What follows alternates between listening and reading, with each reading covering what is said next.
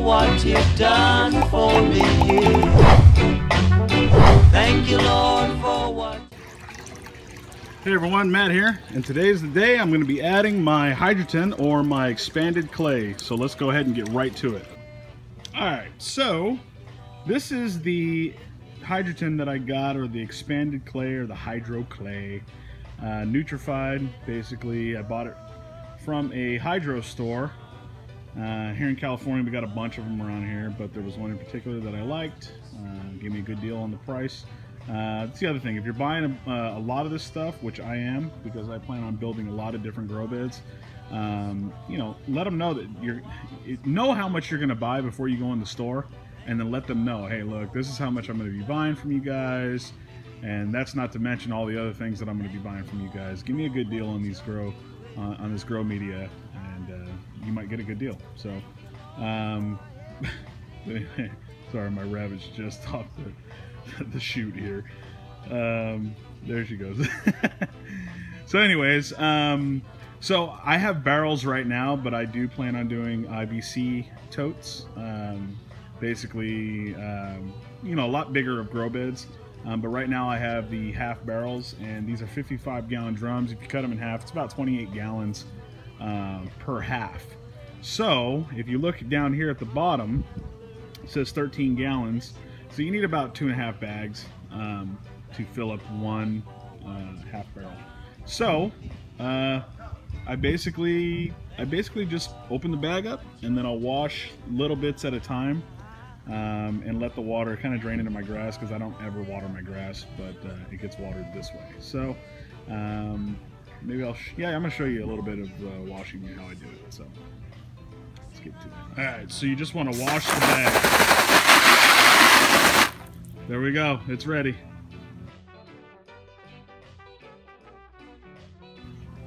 I did want to mention one more thing about this particular brand. Um, I got a lot more in this bag for a lot less. Um, I can't remember the name of the other stuff, but it was basically a um, like a 10 gallon, I want to say, bag. Um, and it didn't have much in it. Plus, um, the actual uh, clay balls and the other one there was like a little bit of clay balls like a little bit of the round ones and then there was a little a whole lot of just uh, flat pieces and broken pieces and all this and that uh, this stuff right here and you'll see it when I start opening the bag up this stuff right here it's got a bunch of round um, round pebbles and uh, your hands will just thank you for for getting this you can get a lot of those other things like rocks and all these different things like I talked about in the other videos, but this stuff just makes it so much better on your hands. So um, let's go ahead and get in the bag and then I'm going to show you how I rinse it off and we'll add it to the grow beds. Alright, so I got the bag open and I just wanted to show you guys this stuff.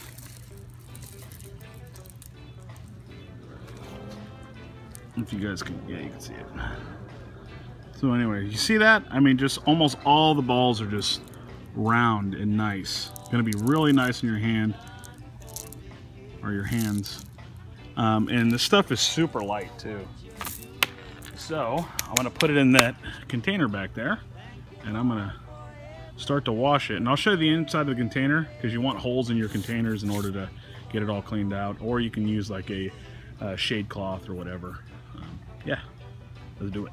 All right, so this is the inside of my container, and as you can see, I got a lot of holes drilled inside of it and stuff. And I should have really put some in the sides, um, but this will do it. I'm just going to rinse it off.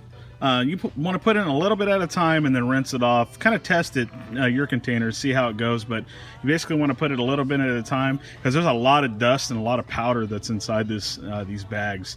So um, just start off with little bits at a time because you want to get all of that rinsed off because all that's basically like sharp little shards and it'll eventually burn out your motor um, on your pump so you want to make sure that uh, these shards get taken out as best you can so yeah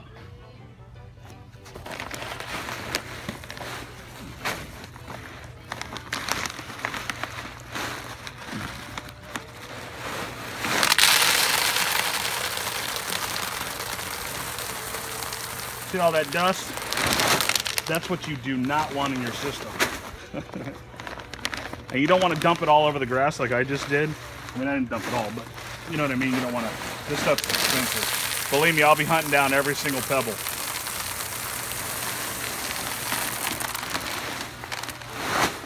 There we go. There's a nice amount. And let's get this more inside the shot here. Just to show you what I do. And then I basically just give it a good rinse out.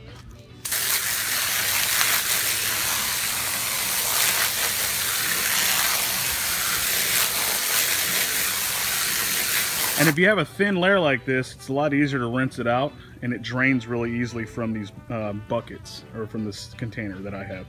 So, but you basically just want to rinse it out like that real good uh, and then add it to your grow beds. Um, my pH is already pretty low, so there's only going to be a little bit of water going into it that has the higher pH from my hose water. Um, and that is something you guys want to keep in mind when you're adding gravel and you rinse it out all the water that stays in that gravel is going into your grow beds and which means it's going into your system which means the pH of the water or whatever is in that water is going into your system so keep that in mind uh, you could rinse off with RO water and uh, but good luck with that. That's a lot. So anyway I'm gonna continue this and then you'll see me putting this stuff in the grow bed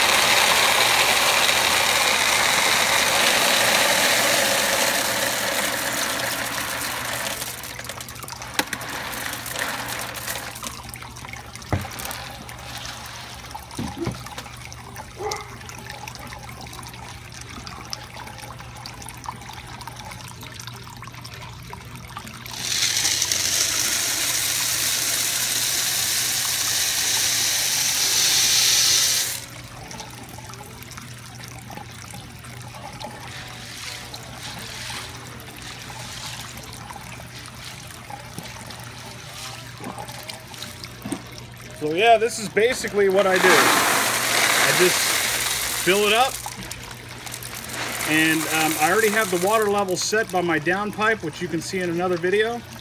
Um, but basically the gravel will only go up this high, but you want to keep planting it out until it stops being so loose like it is right now. So you just keep putting it in there until it's popped off.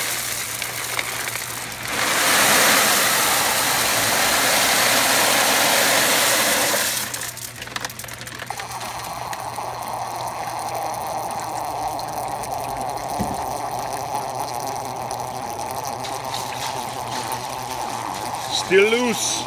You're not gonna get all this stuff, but you wanna kinda go for just a little cleaner.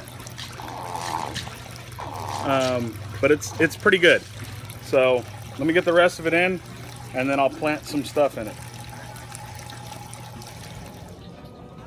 So as you can see, we are all done. So um, I'm gonna plant some stuff.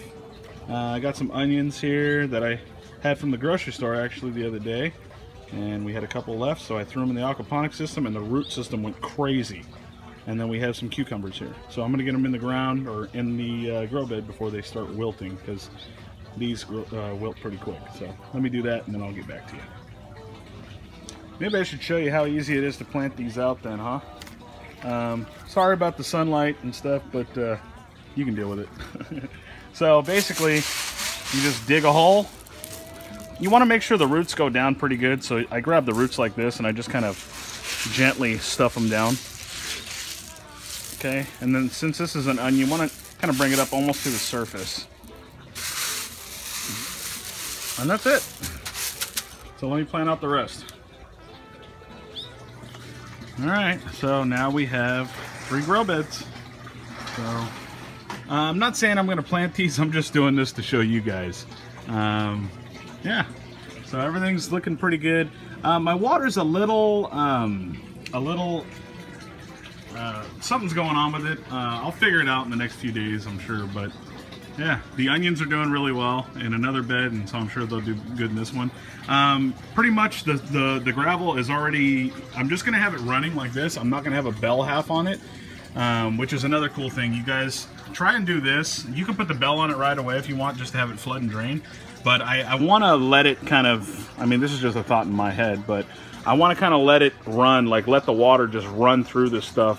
Um, that way all the bacteria just basically takes over all this gravel uh, or all this hydroton. So, and then um, I should get way more biological uh, filtration from this for the fish that I have and the, um, yeah, for the fish and, and all these other plants and stuff, or for the fish and the snails and stuff, Snail Mega. So you can see him on my uh, other YouTube channel on uh, the fish tank.